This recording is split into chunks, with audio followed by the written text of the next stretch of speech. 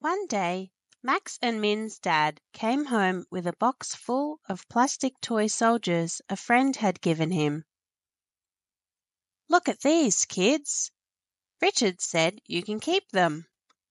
Why don't you count them to see how many of them there are?" Max looked inside the box with excitement to see that there were many toy soldiers. "There are a lot, dad. How should we count them?" "I'll help you. To count big numbers we can count them in lots of ten. One, two, three, four, five, six, seven, eight, nine, ten. Another ten makes twenty.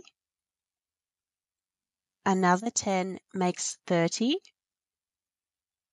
Another ten makes forty. Then fifty, sixty, seventy, eighty, ninety, one hundred. Ten lots of ten equals one hundred. In video K.1.5, says Max, we learned how to count all the numbers up to 20.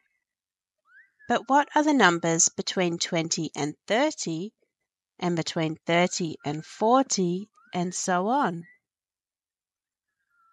Well, continued Dad, to count between 20 and 30, we just add the numbers 1 through to 9, like this.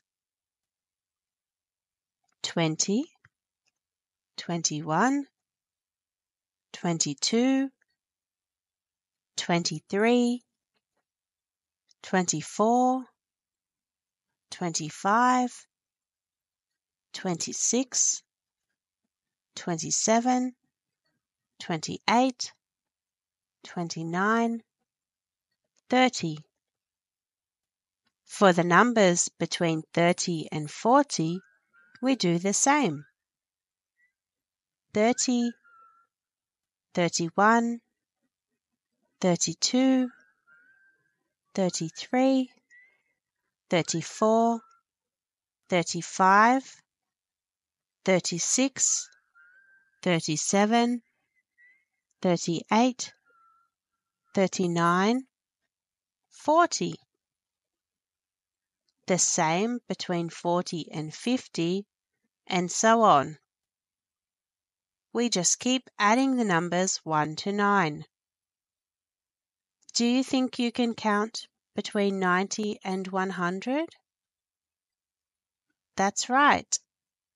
90, 91, 92, 93, 94, 95, 96, 97, 98, 99, 100. So, Dad, says Min, are numbers always counted and written in this order? Well, Min, replied their dad, the same numbers are always next to each other but we can count forwards or backwards.